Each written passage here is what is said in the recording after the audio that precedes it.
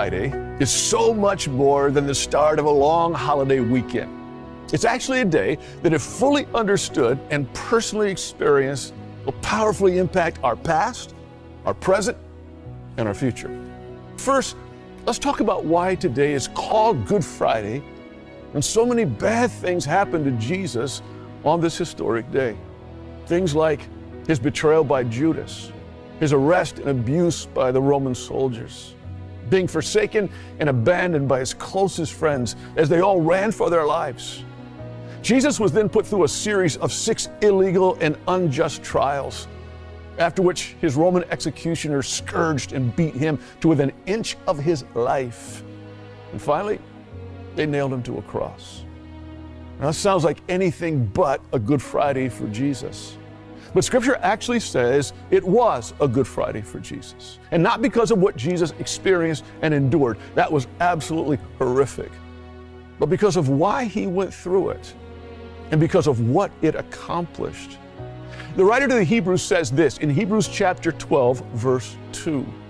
Jesus saw the joy ahead of him. So he endured death on the cross and ignored the disgrace it brought him.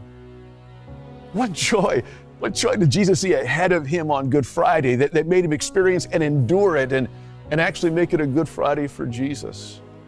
Let me, let me answer that question. Jesus saw your changed life and mine. He was disgraced so that we might be graced. And He did it all for us. See, on Good Friday, God demonstrated His love for us. What Paul writes in Romans 5, verse 8. God demonstrates His own love for us in this. While we were still sinners, Christ died for us. See, sometimes for love to be believed and received, it has to be seen. It has to be demonstrated. Uh, Dr. Maxwell Maltz, he writes about a man that had been seriously burned and disfigured while he was attempting to save his parents from their burning home. He wasn't successful. Both his parents perished in the fire. Now, the man mistakenly interpreted what happened to his parents and himself as God's punishment, that God was mad and angry with him. The horribly scarred man wouldn't let anyone see him or touch him, including his wife. And that's when his wife made an appointment to see Dr. Maltz, a world class plastic surgeon. Dr. Maltz told her, Don't worry, I can restore his face. And the wife said, well, that wasn't why she came to see him, that, that she doubted her husband would see him anyway. He wouldn't, he wouldn't meet with anyone. And, and it kind of confused Dr. Maltz, and he asked, Well, then, then why did you make an appointment to see me? And she said, I want you to disfigure my face so I can be like him. If I can share his pain, then maybe he'll let me back in his life. Dr. Maltz was shocked. He said no to, to her request, but, but he was so moved by her love that he went to speak to her husband. And knocking on the man's bedroom door, he called loudly, I'm Dr. Maltz, a plastic surgeon. I know I can restore your face. No response. Please come out. Again, there was no answer. And still speaking through the door, Dr. Maltz said, Your wife came to see me. She asked me to disfigure her face, to make her face like yours in the hope that you'll let her back into your life. That's how much she loves you. There was a brief moment of silence. And then, ever so slowly, the doorknob began to turn. See, Jesus loves you and me so much that he actually was scarred and disfigured for us on the cross. See, the cross declares and demonstrates how much we are loved by God. And if you and I will dare to open our heart's door to Him, our face and our future will be transformed.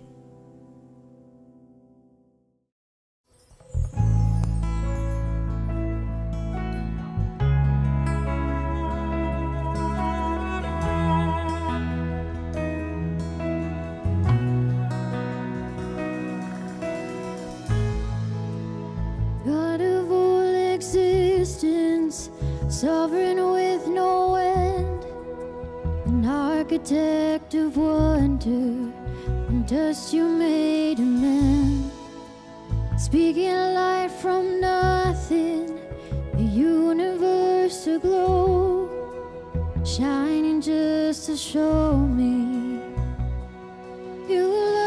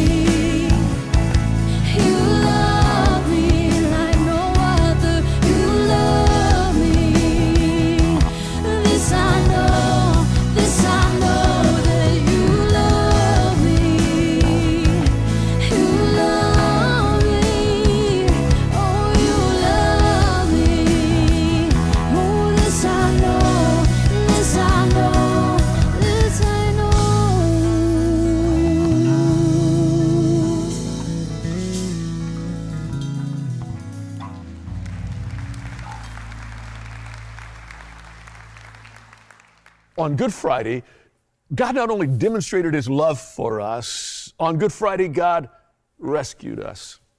See, Good Friday is actually a rescue story, much like Eddie Rickenbacker's. It was October 1942. Eddie Rickenbacker was sent on a mission to deliver a message to General Douglas MacArthur. With a hand-picked crew in a B-17 known as the Flying Fortress, they set off across the South Pacific. Crew became lost, ran out of fuel, the plane went down. All eight crew members escaped into life rafts and, and they battled the weather, the water, the sharks, the sun, but most of all, they battled hunger. After eight days, their rations were gone. They ran out of options. It'd take a miracle for them to survive, and a miracle happened. After an afternoon devotional service, the men said a prayer and tried to get some rest. Eddie was dozing with his hat over his eyes when something landed on his head. He would later say that he knew it was a seagull. He didn't know how he knew, he just knew. And that gull meant food if he could catch it. And he did. The flesh was eaten, the intestines were used as fish bait. What was a seagull doing hundreds of miles away from land? Only God knows. But because it showed up, Eddie Rickenbacker and his entire crew were saved. Eddie's story is really our story. It's really the Good Friday story. See, we've all been lost, spiritually lost, not at sea, but in life. And we've all been visited by a sacrificial visitor who, who journeyed from only God knows where to willingly offer himself to rescue us. That's what Paul writes in Galatians 1, verse 4. He writes, Jesus Christ rescued us from this evil world we're in by offering himself as a sacrifice for our sins. God's plan is that we all experience that what? That rescue. See, now every Friday evening, Eddie can be seen walking down a Florida beach to the pier with a bucket full of shrimp, not for him, for the seagulls. Because Eddie can't go for a week without looking to the sky and saying, thanks. Honestly, that's one of the reasons why we are here tonight. To look up and say, thanks to the one who gave his life to rescue ours.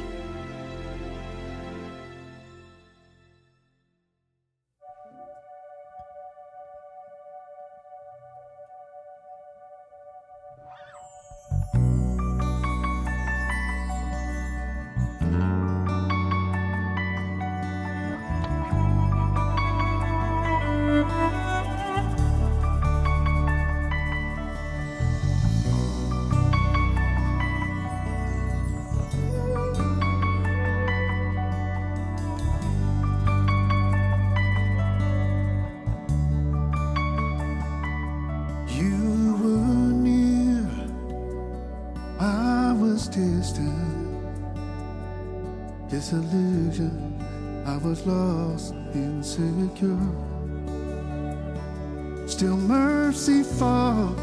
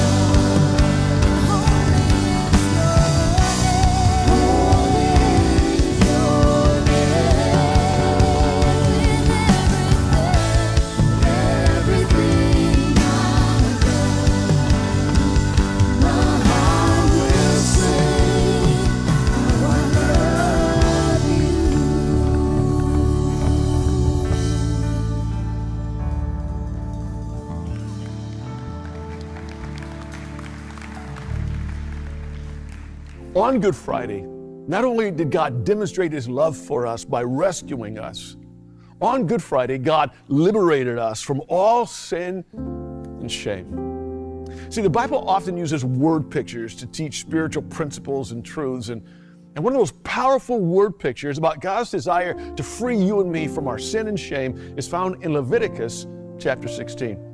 Now, Leviticus 16, let, us pick it up with verse 7. Aaron must take the two male goats and present them to the Lord at the entrance of the tabernacle. He is to cast sacred lots to determine which goat will be reserved as an offering to the Lord and which will carry the sins of the people to the wilderness. Verse 20. When Aaron has finished purifying the most holy place and the tabernacle and the altar, he must present the live goat. He will lay both his hands on the goat's head and confess over it all the wickedness, rebellion, and sins of the people of Israel. In this way, he will transfer the people's sins to the head of the goat. And then a man, specially chosen for the task, will drive the goat into the wilderness. As the goat goes into the wilderness, it will carry all the people's sins upon itself into a desolate land. Now, now- now- don't miss this word picture, it's powerful. Two goats. One was sacrificed on an altar to pay or to atone for the people's sins. But the second goat, the live goat, was driven away, far away. It was used to deal with the people's shame. See, God knew that they needed to be freed from both. And so do we. In fact, Alan Wright puts it like this He writes, If our sins are paid for by the first goat's blood, but our shame is unhealed, we will always be looking for another goat, another scapegoat. That's why wounded people wound people. That's why ashamed people shame people. That's why we need Jesus not only to save us, but also to heal us. Isaiah foretold it. Because we needed a Savior, it was the Lord's will to crush him and cause him to suffer and to make his life a guilt offering. Isaiah 53:10. Because we needed someone to bear our shame, Isaiah writes, he took up our infirmities and carried our sorrows. See, Jesus was actually both goats. He was the faultless sacrifice, giving his life for our sins but he was also the divine scapegoat for our shame. So he experienced all of God's judgment and he experienced God's abandonment on the cross when he cried out, My God, my God, why have you forsaken me? He experienced abandonment and judgment so that you and I will never have to.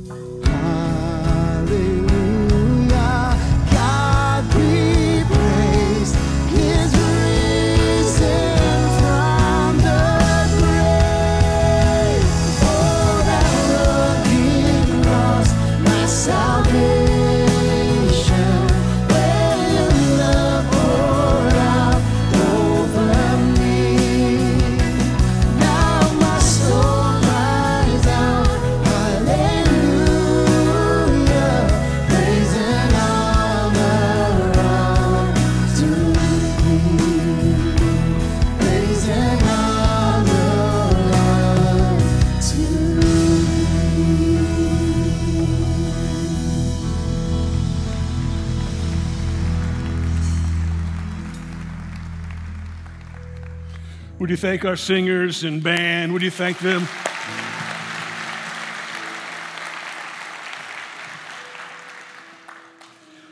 Jesus was called a man of sorrows, but it wasn't his sorrows that he was carrying, it was ours. He carried our sorrows and he carried our sins to the cross. See, that's why on a Friday in which such horrible, unspeakable things were done to him, it can be called Good Friday. Or some believe originally it was called God's Friday because it was the day that God paid for us in full. And He took all the things that you and I have done, and, and you don't need to raise your hands, but how many of you messed up at least once? Multiple times. I don't know if you have a record. I, don't mean with the, with the police. I mean, everybody's got a record of things that other people have kept and you've kept on yourself. And we're going to actually talk about some of that on Easter in a couple of just, just two days away. But what you and I can celebrate is the fact that He took all of our sorrows and all of our sins and all of our failures and all of our guilt and He took it to the cross. In fact, here's what Paul writes in Colossians chapter 2, verse 14 on the screens. In fact, I want you all to read this out loud with me, okay? And out loud means with your voices, okay? We're all going to read it together. God canceled the record of the charges against us and took it away by nailing it to the cross. Anybody here glad that God took your record and nailed it to the cross? Mm. Now, let me tell you something that's very important. And I don't say this in any way to diminish or put down people that might wear a cross with Jesus on it, but he's not on the cross. He left the cross. But he left our sins on the cross. He left our failures on the cross.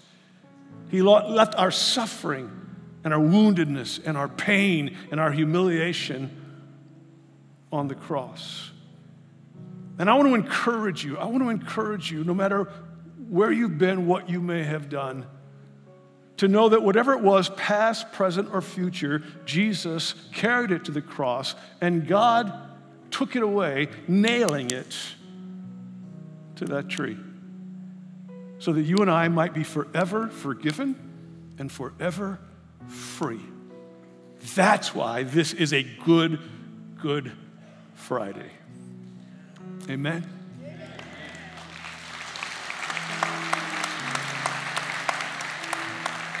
I got a question for you. What do you need to leave at the cross?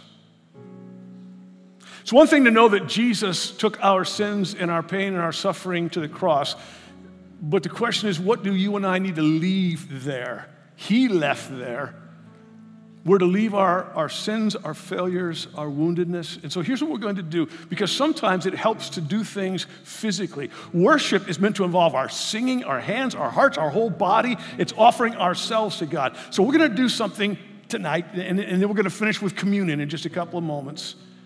And we have three crosses. A third will be brought out in a moment. We have two here now. There'll be three. In the, the little seat caddy right in front of you, you'll see a red card, looks like this and it's got like some white on it. And for just a couple of moments, our, our, our worship team again is going to lead us in some, some beautiful worship songs. And what I want you to take just a moment with is just to take a moment and reflect on, on, on things in your life that, that you don't want to carry anymore, you don't want to bear anymore, you don't want to remember anymore. You want to be forgiven and forever gone. Because God nailed it to the cross, now it's time for you and me to leave it there. So I'm going to ask you to take whatever it is. You don't need to write your name, God knows your name. But I'm going to ask you just to take a moment and you can just write it. It might be a hurt, it might be a wound, it might be a failure, it might be a divorce, it might be a whatever it was. Something done to you, something that you might have done to someone else. But it's amazing how many of us carry things we were never meant to carry? And so he carried them so we don't have to anymore. Now, I'm going to give you little directions how we're going to do this. Like, how we're going to do this, and we're going to do it and, and be like, like socially responsible with each other. So, here's what we're going to here's a little video. This is a high end, high class video. That is some high tech stuff right there. But that was row one, and then comes row two. So, as we sing, and in, just a moment, I'm going to have you stand if you're, if you're physically able to. If, you're, if you can't, that's fine. But I'm going to have you stand because it's easier to, to move. And we're going to start with the first row, and we're going to keep some distance between us. We have some partners in the front that will help us with that. But I'm going to ask you to, to take whatever you write on this piece of paper, whatever you need to leave at the cross.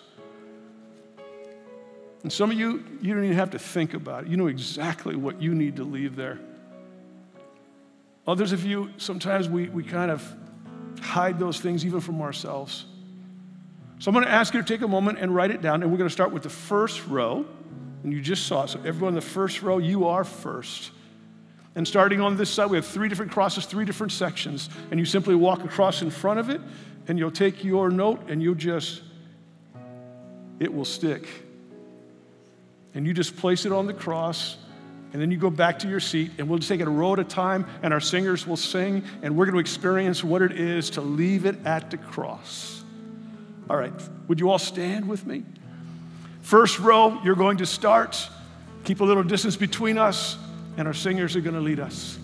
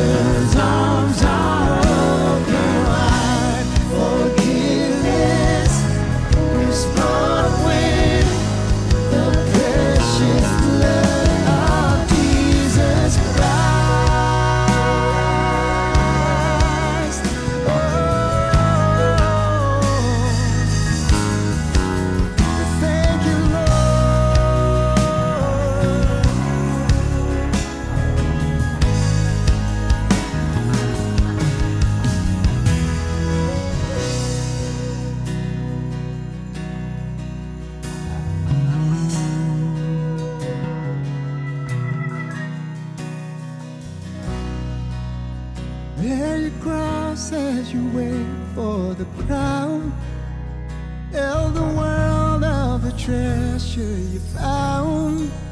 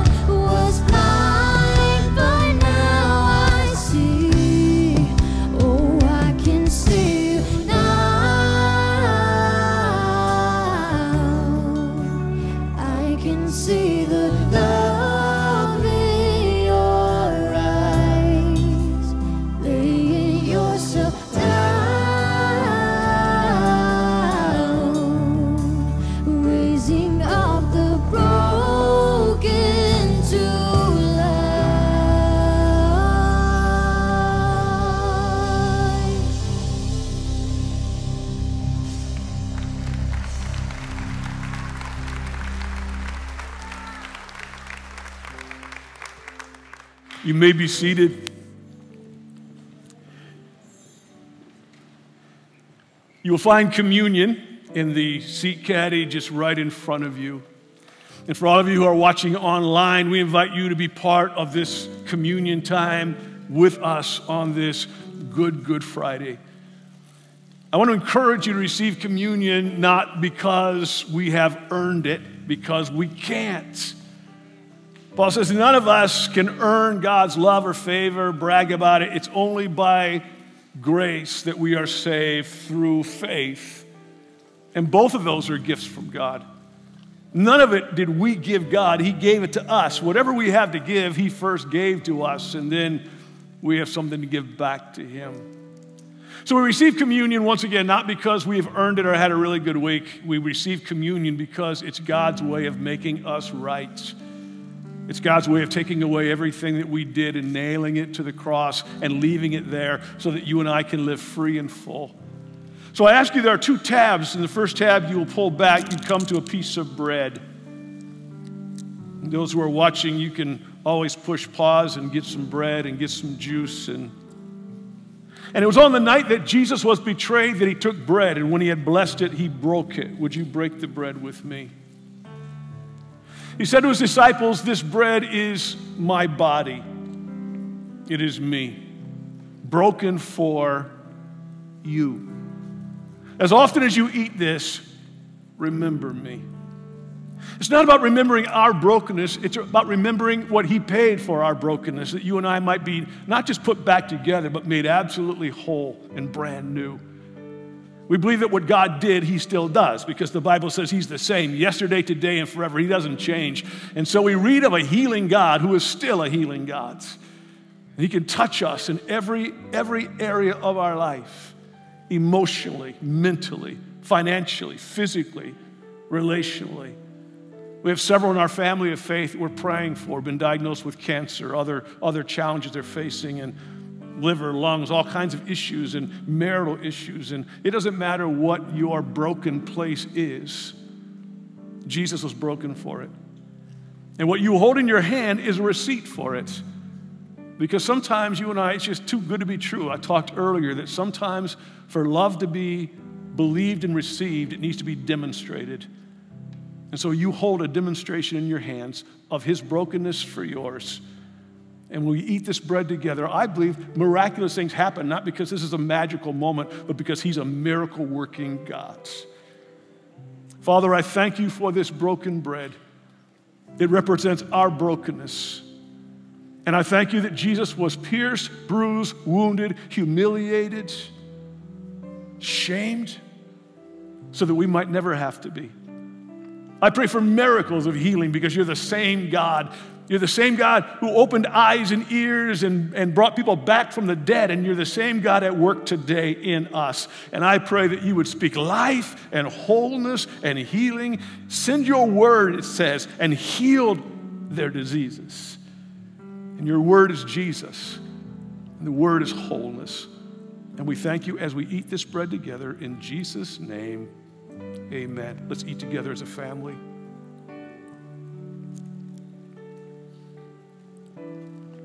Thank you, Jesus, for giving your body for ours, being broken for our brokenness, that by your stripes we are made whole. Now, the second tab you come to is the grape juice. Jesus then took the cup, saying, This cup is a new covenant in my blood, a commitment that will never be broken. When God makes a promise, He's not only an amazing promise maker, He is the ultimate promise keeper because God cannot lie. Now, I don't know if you've ever had someone tell you, I promise, but they really didn't. Or they couldn't. They meant to, but they couldn't. It's never the case with God. When He makes a promise, He has the power to pull it off, to make it happen. And he promises that if you and I will confess our sin, he is faithful and just to forgive us and cleanse us from all unrightness. Not just, not just the penalty part, but the roots of why we do what we do. And he'll help us become brand new creations. And that's what this cup is really all about. So let's take a moment and pray together. Father, I thank you once again that all of our sins, failures, charges against us have been nailed to the tree with Jesus. And that when he shed his blood, he was paying his life for our life. And I pray that not a single person in this room or watching online would miss the grace of God. Right now, Lord, we accept and thank you for doing for us what we cannot do for ourselves to make us who we could never be on our own. And we thank you for it in Jesus' name. Let's drink the cup together.